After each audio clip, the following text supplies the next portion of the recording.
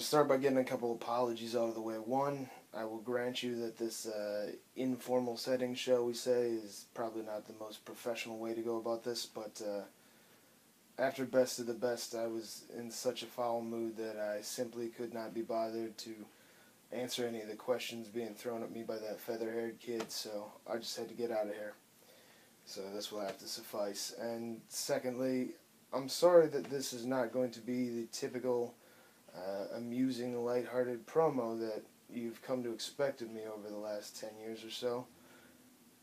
It's a shame because I like being that guy. I like being the smart-ass, laid-back, nonchalant, sarcastic son of a bitch that I am. Bring a little levity to the situation. Everybody's always so goddamn mad in this business. Nice to have a little change, but it's really hard to do that when you can't maintain some modicum of positivity, and it has just been getting harder and harder to stay light lighthearted around here. See, over a decade now, over a decade now, I have sacrificed my health and risked serious injury, bled buckets, all in the name of ultra violence, of flying the flag for combat zone wrestling. And I did it all without hesitation. I did it all without regret because I love this company and it was something I believed in. I believed that we could we could take the American deathmatch scene and we could uh, elevate it to a level where it was on par with any in the world, and it didn't have to just be, you know, Southern carnies stabbing each other with Stanley knives. And to whatever degree I've been successful, I'm proud of my efforts in that vein. And when you get to a position like I'm in, you want to be able to look back and say, I'd do it all again. I wouldn't I wouldn't do anything differently. I wouldn't trade it for the world. I don't regret a thing. You want to be able to look back and say that. And up until recently, I've been able to say that more or less truthfully. And then last night something happened that that just really made me doubt the whole thing. See, last night was best of the best, and I was pinned in the middle of the ring by Tim Donst clean.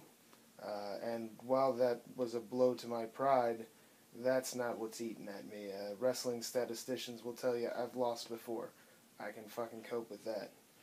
Now, what's really, really bothering me is that no sooner had the referee counted three than fucking DJ Hyde, our fearless leader, was in the ring offering Donst a spot in TOD, essentially rewarding him for all the abhorrent behavior that he has taken to of late. And it's just fucking sickens me that the company that I have bled for, that I have dedicated my my last decade, my health, uh, taken countless years off my life. Uh, this company is going to reward that type of behavior because I didn't think that's what we were about. I thought we were about fucking earning your stripes.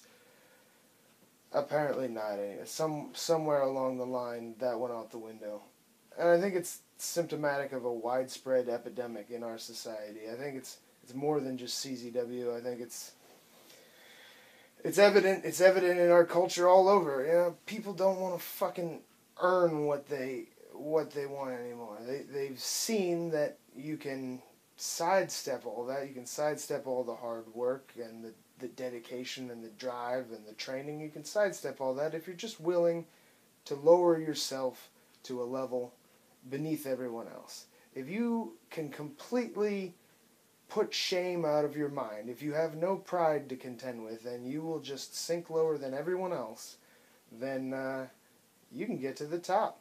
And now our fucking culture is rewarding this type of behavior, and it's happening in CZW.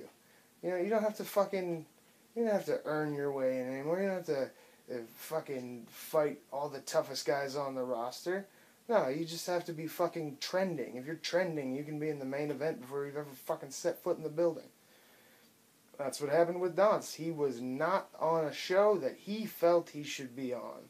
So rather than uh, redoubling his efforts and be, being determined to fucking put forth a, a better effort in future, he decided he was going to go out and ruin the show for a couple people who had earned their spot, namely me and Ricky Shane Page, two guys who were uh, embroiled in a battle of respect. He decided he was going to come out and ruin that out of spite, out of jealousy, because he wasn't on the show, and that pissed him off. And so, what did what did management do? Did we did we punish this behavior? Did we decide to set an example and show that that's not the kind of shit that stands in CZW? No, no, he got a he got a match with me, semi main event at Best of the Best, and then shit. Now he's in Tournament of Death. He keeps this up by the end of the fucking month. He'll probably have the world title. That's what's going on in CZW now, and it makes me fucking sick. All you have to do is make a spectacle of yourself. You have to earn it.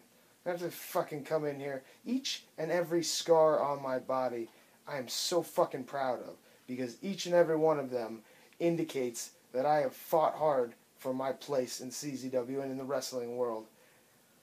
And people don't have to do that anymore, and it makes me fucking sick.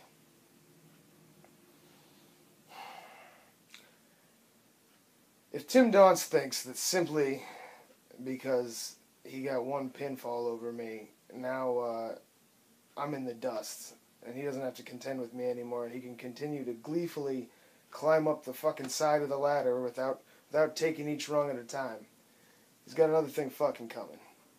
Because I'm not having this shit. As long as I don't know how much longer I've got in me, but as long as I'm still here, motherfuckers are gonna have to earn it. And people who try and pull shit like that, they're gonna learn some hard lessons.